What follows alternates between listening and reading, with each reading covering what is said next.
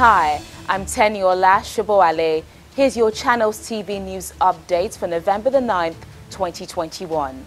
President Muhammadu Buhari has arrived in Paris, the French capital, for an official visit as a guest of President Emmanuel Macron.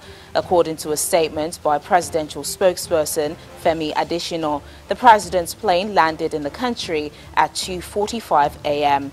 President Buhari is also expected to attend the three-day Paris Peace Forum scheduled to hold from November the 11th to the 13th.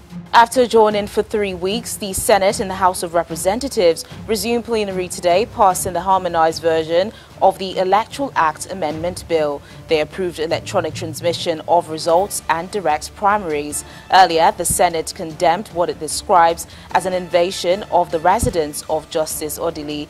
They mandated the Inspector General of Police to make public the outcome of investigations into the invasion of her residence.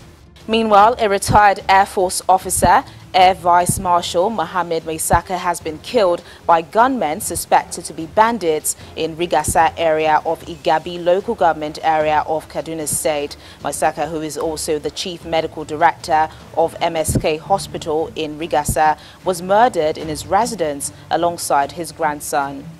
Although the identity of his killers is not yet clear, residents said the attack could be a clear case of assassination. The Kaduna State Police Command has also confirmed the incident.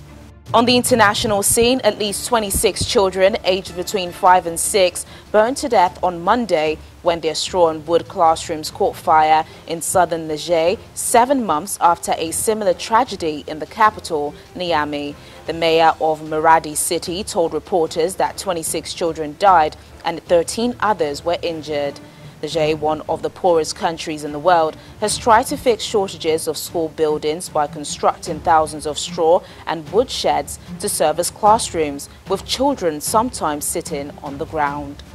Super Eagles goalkeeper Maduka Okoye has joined English Premier League outfit Watford FC. Okoye joined the English club from Dutch side Sparta Rotterdam and was signed on a five and a half year deal which is scheduled to begin on January the 1st, 2022 when the transfer window opens. The transfer fee was undisclosed. And that's the news update. Don't forget to join us tomorrow for fresh updates. I'm Teniola Shoboale. Thanks for watching.